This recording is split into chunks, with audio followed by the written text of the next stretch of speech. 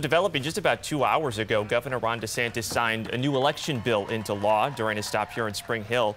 It would create a police force that would be dedicated to pursuing election crimes. It was one of the governor's top priorities. We're taking a very strong stand against ballot harvesting. I think it's justified, and I think that people can have confidence that if someone's voting absentee, they actually got the ballot and they actually uh, sent it in. It'll be called the Office of Election Crimes and Security. It'll work under the Florida Department of State, so the governor would appoint a group of special officers to pursue these violations.